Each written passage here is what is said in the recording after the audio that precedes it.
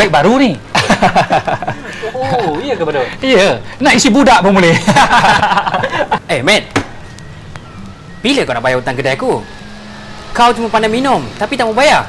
Eh, kalau aku duit nanti, aku bayarlah. Bukan aku tak pernah bayar. Yang kau terpekik-pekik macam ni, malulah aku.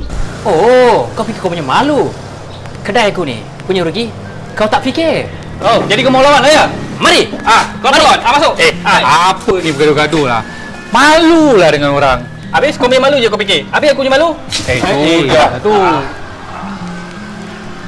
Kenapa gaduh-gaduh ni? Malulah kalau orang tengok. Banyak ke hutang dia? Tak banyak. Cuma 300 saja. Eh, mate, kau minum kopi ke? Kau buat mandi kopi tu? Kalau dah setahun, Dul, 300 lah Badul. Eh, tak apalah. Bawakan saya teh dengan roti ya. Hutang dia saya bayarkan. Pergilah. Orang lain yang minum. Kau Orang pergilah. Bekal. Eh, Badul.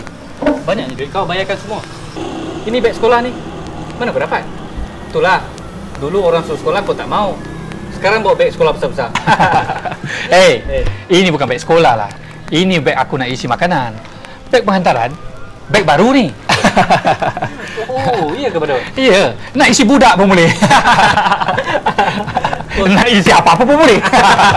Jadi kau kerja bawa Ha. barang lah? eh, tadi masalah Wan tadi. Kenapa tak bagi terus? Aku dah nak bagi. Tapi dia tak nak. Eh, Mit. Kalau kata dua tahun lagi kau minum kat sini tapi tak bayar. Berapa hutang kau? Mestilah banyak Badul. Bankrupt si Salim ni. Minum lah Badul. Yalah. Terima kasih ya.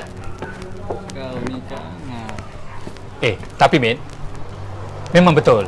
Sejak aku bekerja dengan misi ni, apa yang aku nak, aku boleh dapat. Sebab keuntungan dia 100% untuk penghantaran. Wah. Baguslah kalau begitu. Aku pun nak kerja dengan misi lah Badul. Kalau kata nak kena hantar ke bulan pun, aku pergilah Dul. Hai, minum-minum Badul. Satu aja roti. Ya, ya, ya. Zila lah Badul. Zila.